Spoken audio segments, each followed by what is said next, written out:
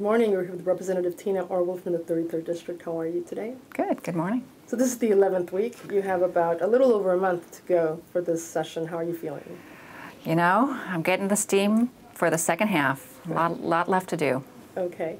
So last week, the uh, revenue forecast came out, and there were so many numbers floating around. People were talking two billion, half a billion.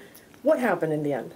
Well, we are all very concerned about how much the revenue would be down. I mean, we know we're just early signs of recovery. We have a ways to go, and we were really worried it would be over a billion. We ended up about 600 million, which is still a lot of cuts, but not not as severe as it could have been. But the state has been making cuts throughout this recession. What kind of cuts have you made? We've made really significant cuts, and we've been doing this. This will be the third budget cycle where we've had to do cuts. We've cut a lot of state employees. You know, we've cut, I think, a total of 8,000 state positions in the last several years. So we have 3,000 state employees, 3,100 higher ed, and 2,100 positions lost in our school district. So well, that's a lot of people. That is a huge number of people. Yes. What about benefits for state employees? Those have also changed. Well, we did a salary freeze, and so there's no increases.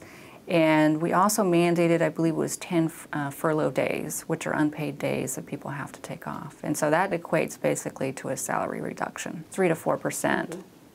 Okay, what other kind of cuts have you made, like in the education sector? You know, we've cut 680 million from universities and colleges, which has been very significant. We've cut about 250 million from the basic health plan. That's people who really kind of are the working poor that have relied on the state for health, for health care. We've cut uh, 150 million from our correctional system, which included closing five facilities. We've also cut 100 million from welfare to work, which is a way to help low-income families that are on benefits get back to employment. Okay, so let's go back to the revenue forecast this number, this um, 700 or 680,000, what would the state need to do to reduce this number? Well, I think it's especially hard because we've made so many deep cuts. We were saying the other day that you could close all the universities in the state and still have 50% more to cut. So, I mean, it really is this pretty high magnitude. We could close down all of our prisons, and we still wouldn't meet this dollar amount. And we'd have all the criminals out in the street. Yeah, so we, we certainly aren't going to do that. that. That isn't an option. But when you start looking at the levels of resources we're reducing, it's very significant, and, and it will impact the state, unfortunately. Okay, now I have another question for you. Um, you've been getting a lot of media attention on a bill that you sponsored 1997, which would extend some of the tourism taxes in King County for job development what is this bill about, and why are, why is it so debated at this moment? Well, this is a request from King County. This bill would allow them to extend these taxes. Uh, you know, if it made it through the legislature, then it would be a process in the county, and they could actually take it for a vote of the people as well. But what it was looking at is we have this opportunity to temporarily expand two of these taxes to actually do some job development, which would include the expansion of the convention center, it would be doing some low-income housing or workforce housing, as well as the arts. And all of these things are being tied back to tourism.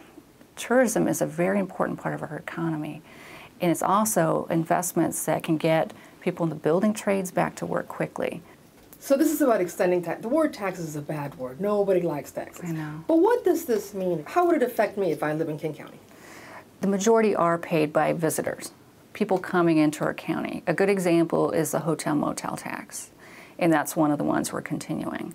Um, another one is a rental car tax. Now, that may have some local uses, and we're looking at that as well. But again, people coming in tend to rent cars. The other one is the restaurant tax. And I, I estimate it's about a dime for every $20 you spend at a restaurant. A dime. A dime for $20. So it's a small amount that can do so much for our community that during this critical time can ex expand jobs. If they expand the convention center, it's looking that it would bring a quarter of a billion dollars in a year and about 130,000 people into our area. That's going to help those hotels and those restaurants. And that's why they're agreeing to expand this tax because they know in the long run it's going to make our economy stronger. So the business community is behind this bill. Yes, the Seattle Chamber is behind this bill. King County is behind this bill because they know that it's a good investment now to help us get out of this recession and be strong when we get out of it. Okay. Well, it sounds like a good idea, so let's hope it can go forward. Thank Thank you. you very much, and we'll see you next time. Thanks.